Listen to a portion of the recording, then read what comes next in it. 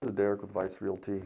I'm going to talk about the CDC moratorium again, some district court cases here in Las Vegas, and just a little bit about the eviction process and how easy tenants really do have it. We don't ever hear about this side of it. We hear about how horrible it is for tenants. I just don't get it. I don't see it. I've been doing this for years. Tenants have it good, and as time goes forward, they have it better and better and better. Uh, it's the landlords that have it so bad. Um, I own about 79 rental properties right now. I've just sold three of my buildings. I have seven other buildings that are in contract to be sold right now. It absolutely breaks my heart. I have worked years and years and years, two and three jobs, for years to build these things, to rehab them, to put tenants in there, to improve the neighborhood, to call investors that I know to try to buy on the same block so we can improve the whole area. And I'm going to lose it all in a matter of one year because the government has decided I need to support every single family in those buildings out of my own pocket. And I did it for about a year, but I just can't do it anymore. I have to go. And I know tenants think that who cares, no big deal, it's not my problem, but it's going to be your problem because people like me come into these neighborhoods and they fix them. They improve the properties. Do you think anybody's improving properties right now? They are not. They do not care. These properties are going to get dilapidated. They're going to fall apart. The neighborhoods are going to fall apart. And while that's happening, the rent prices are going to increase, not decrease. Landlords have to make up the money somewhere, and there's going to be a shortage of rental housing available. I'm pulling 79 units off the market here locally that I own, that I go to every day, that I check on, that I try to do my best to help tenants on.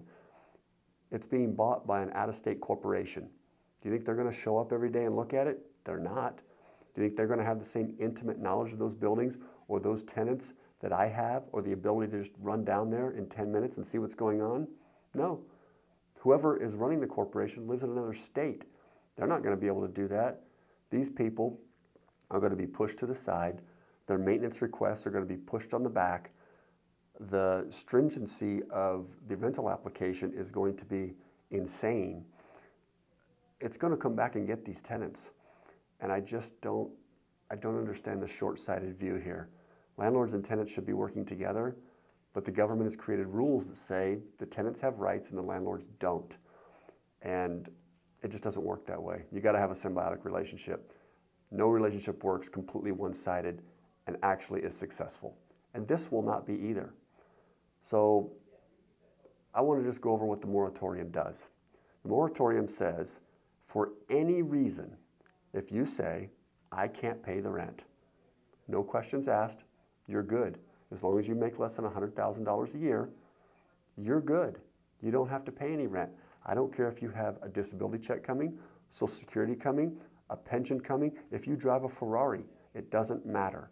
You just have to say, can't pay the rent, and you don't have to pay it if you make less than $100,000 a year. Well, that doesn't seem real fair to me. Uh, I don't really get it. It doesn't work for me. Obviously, I'm selling out because I can't do it anymore. It's not right. It, it's heartbreaking. I know so many investors, and they're, they're running like the places are on fire. And these are people that want to give low income housing. They want to improve their communities.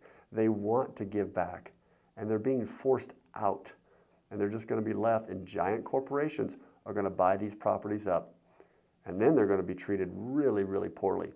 Anybody been to New York or Chicago or Los Angeles and seen giant corporations run housing? How's that looking these days? I bet that's awesome. Well, it's been extended again. Today's April 1st, 2021. We've extended the federal until the end of June. And I promise you, I'm telling you today, when June comes, they'll extend it again. Probably three months, I'm going to say to the end of September, and they'll come up with a new excuse. At the end of September, they'll extend it again, and they'll come up with a new excuse. And they're going to keep doing this over and over and over. My guess is they just didn't realize the landlords were this hard to break. They probably thought these people would have been out long ago. They're still fighting, they're still holding in, and they're hoping. The same way I hope Santa Claus is real. It's not. This is over. it's terrible. And here in Nevada, we just renewed the state eviction moratorium for two more months under the guise of, well, we just care about the landlords and we need to make sure that we don't evict anybody until we get them paid out. Really? So you can send stimulus checks to people literally in a day. But we just can't figure out how to get landlords paid. Just can't figure it out. Pretty crazy. They're not going to figure it out in two months either. They're not going to figure it out in three months or six months. It's never going to be figured out. Yes, there will be some payments made through tenants to some landlords. Absolutely. Will it be the majority? No. Will it be even half? No. I will be shocked if it's 20 to 25% because that money that's not used, where do you think it goes? It gets to go right back to the state. Right back to the state. That's pretty convenient. So I was going to give you a district court case. Uh, I go to court a lot. I see some horrible things. I mean, court used to be somewhat fair, not anymore. Uh, I had a district court case. So when, when you file for eviction, you first put notices on the door. In this case, it was for no pets allowed. Lady decided to bring three giant dogs into her house. They destroyed the house, they destroyed the grounds. And we told her she can't do that. And she said, Too bad, I'm doing it. So we post a five day notice to correct that issue. At the end of that, when she doesn't correct it, we post a five day detainer. Now, these are five judicial days Monday, Tuesday, Wednesday, Thursday. We don't get Friday, Saturday, Sunday, or any holidays. So this process takes about three weeks. After that, we get to apply to the court. I get to pay for that out of my pocket. The tenant gets to fight it for free. The tenant loses in court. The tenant appeals it, loses again. The tenant then appeals it to district court. Again, all this is free, but I get to pay. The, the, district court decides the tenant should be allowed to have dogs even though your lease says they can't. Should be allowed. Therefore, the eviction will be turned over and the tenant can now have dogs. Well, here's what that does. She lives on a house with six apartments behind it. Now everyone in those apartments says, well, I'm going to have dogs too.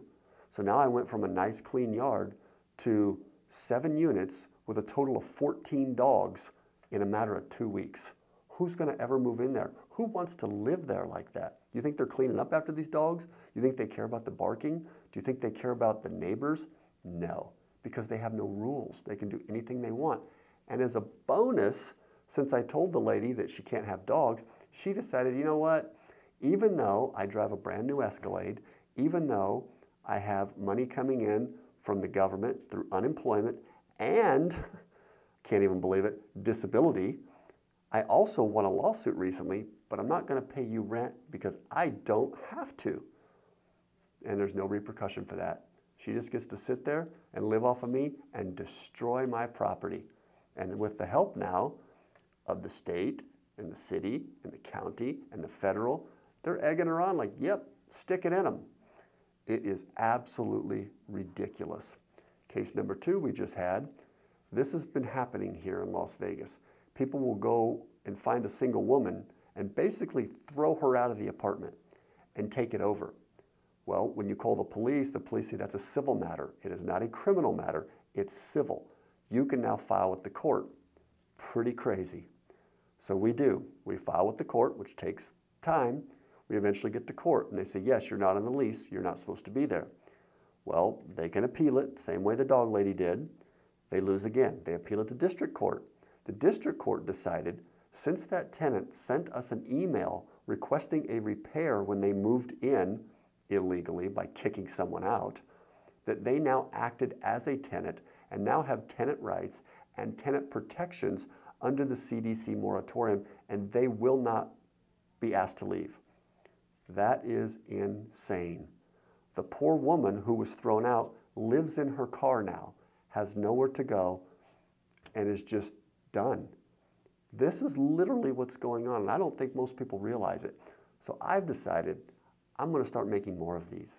And I'm going to go out with a video camera and show people what is actually happening with this eviction moratorium and how horrible it really is.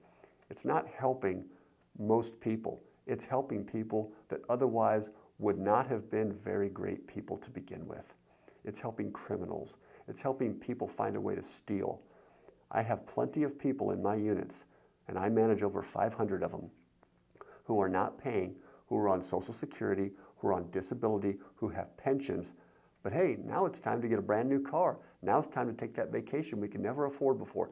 You know what? I want a couple new TVs in here. Why not? And by the way, we broke the window out. I know I normally would have to pay for it. Too bad, the landlord will pay for it. You know why?